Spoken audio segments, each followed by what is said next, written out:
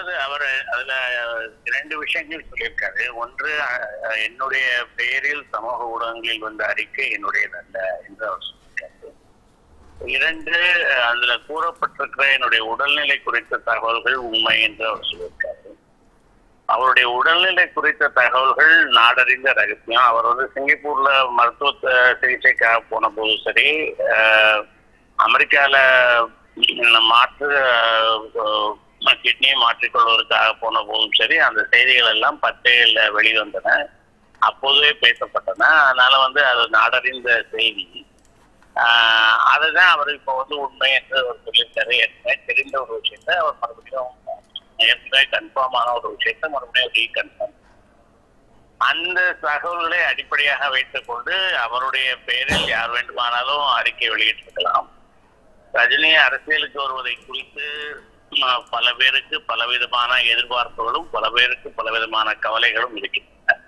அதனால யார் வேண்டுமானாலும் அது- ஒரு அவர் கொண்டு ஒரு அறிக்கையை வெளியிட்டார். சொன்னதே அவருடைய அறிக்கை என்று சொல்லி எதையாவது வெளியிட்டு அதைத்தான் அவர் சொல்றாரு. அது என்னுடைய அறிக்கை அல்ல என்று அவர் அவர் இன்னொரு விஷயம் என்னன்னு கேட்டீங்கன்னா இன்றைக்கு இருக்கக்கூடிய சூழ்நிலை வந்து அவர் ஒரு- ஒரு ஒரு அரசியல் கட்சி தொடங்கி ஒரு கொடியை அறிவித்து ஒரு கட்சியை தொடங்கி அதற்கான திட்டங்களை அறிவித்து மக்களிடத்துல போய் வாக்கு கேட்பது அது ரஜினி போன்றவர்கள் வாக்கு கேட்பது என்று சொன்னால் பல இடங்களுக்கும் நேரில் பயணித்து அவர் மக்களை மக்களிடத்துல கூட்டங்கள் நடத்தி மாநாடுகள் நடத்தி அதுல பேசி அப்படிதான் அவர் வந்து கட்சியை பரப்ப முடியும் வளர்க்க முடியும்.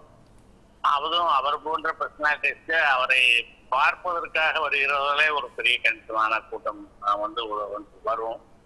இன்றைக்கு இருக்கக்கூடிய சூழ்நிலையில கூட்டங்கள் நடத்தக்கூடிய நிலைமை இல்லை.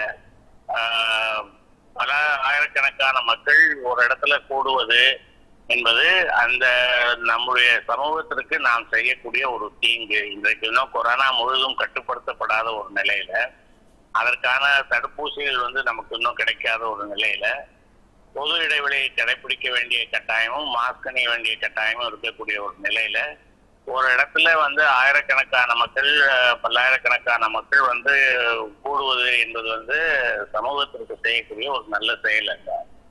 அதே நேரத்துல ஜூம்ல எல்லாம் மீட்டிங் போட்டு ஆன்லைன்ல மீட்டிங் போட்டு அதுல அவர் பேசி அதன் மூலம் கருத்தை எடுத்துக்கொண்டு போய் சொல்ல முடியும் என்பதும் சாத்தியம் இல்லை ஏன்னா அவருடைய இந்த ரசிகர்கள் அவருடைய வாக்காளர்கள் என்று கருதக்கூடியவங்க இந்த மாதிரி ஆன்லைன் தொழில்நுட்பத்தின் மூலம் கூட்டம் கேட்கிறவர்கள் அல்ல. அந்த நேரத்துல இது ரெண்டும் நடைமுறையில சாத்தியம் இல்லை என்கிற போது அவர் வந்து கட்சியை அறிவிக்காமலோ அதை பர பரப்புரையில ஈடுபடாமலையோ அவர் இருக்கிறாரு. அது வந்து புரிந்து கொள்ளக்கூடியது. பொதுமக்கள் மீது அக்கறை உள்ளவர்களும் அவர் மீது அக்கறை உள்ளவர்களும் இதை வந்து புரிந்து கொள்வார்கள். அது நியாயமானது என்பதை ஏற்றுக்கொள்வார்கள். தங்களுடைய அரசியல் லாபத்திற்காக அவர் வர வேண்டும் என்று எதிர்பார்க்கிறவர்களும் தங்களுடைய அரசியல் லாப பாதிக்கப்படும் என்ற கோணத்தில் அவர் வந்துவிடக் கூடாதே என்று நினைக்கிறவர்களும் வேணா இது குறித்து ஏறுமாறாக கருத்துக்கள் சொல்லலாம். ஆனால் அவர் யதார்த்தம் என்ன என்பதை உணர்ந்து கொண்டிருக்கிறார் என்பதை வந்து நம்ம பார்க்க முடியுது அவர் தேர்தலுக்கு சில வாரங்களுக்கு முன்பு கூட அவர் வந்து ஒரு அறிக்கையை வெளியிட்டு அதன் மூலம் ஒரு தாக்கத்தை ஒரு மாற்றத்தை ஏற்படுத்த முடியும். ஆயிரத்தி தொள்ளாயிரத்தி தொண்ணூத்தி ஆறுல ஒரு வெளியில சென்று பேசுவதற்கு நேரம் இல்லாத அந்த அவகாசம் இல்லாத காலகட்டத்தில் ஒரு வீடியோ மூலமாக அவர் வந்து ஒரு ஆட்சி மாற்றத்தை ஏற்படுத்தினார் என்பதை வந்து நம்ம பார்த்திருக்கிறோம்.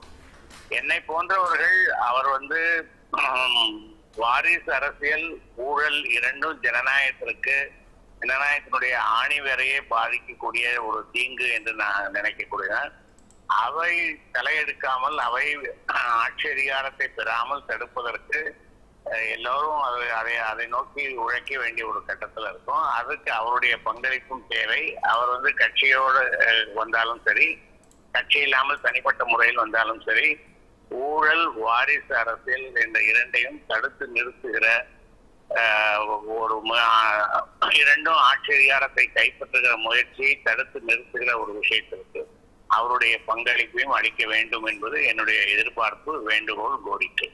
ஆஹ் கொரோனா வந்து எல்லாருடைய வாழ்க்கையும் எல்லா விதங்களிலுமே வந்து புரட்டி போட்டிருக்கிறது. பெரிய அமைப்புகள் கொண்ட கொண்டிருக்கிறோம் என்று சொல்லக்கூடிய அடிமட்டத்தில் அமைப்புகள் வைத்திருக்கிறோம் என்று சொல்லக்கூடிய அரசியல் கட்சிகள் கூட அவர்கள் கூட்டம் நடத்த முடியாம அவருடைய மாவட்ட செயலாளர்கள் மா மண்டல செயலாளர்கள் எல்லாரையும் வந்துட்டு அவருடைய அலுவலகத்தில் உட்கார்ந்து கொண்டு அவருடைய ஜூம் மூலமாக கூட்டம் போட்டு பேசிக் கொண்டிருக்கிறத வந்து நம்ம பார்க்க முடிகிறது.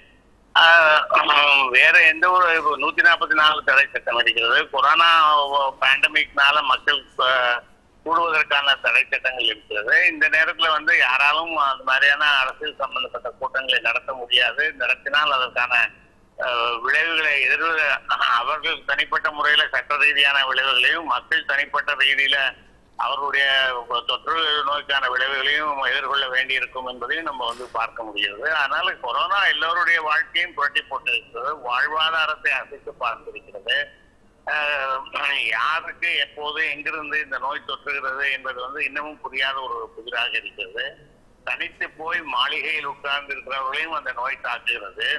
அல்லது சாதாரணமாக பல இடங்களுக்கு சுற்றி கொண்டிருக்கிறவர்களையும் அந்த நோய் தாக்குகிறது.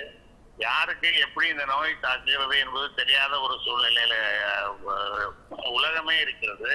தமிழ்நாடு மட்டும் இல்ல அந்த மாதிரியான ஒரு சூழ்நிலையில ஒரு அரசியல் கட்சியை ஆரம்பித்து கூட்டம் நடத்துவது என்பது சாத்தியம் இல்லை என்பது எல்லாருக்கும் தெரிந்த ஒரு விஷயம் தான். கொரோனா இல்லாமல் இருந்திருந்தால் அவருடைய திட்டங்கள் வேறு மாதிரியாக இருந்திருக்கும்.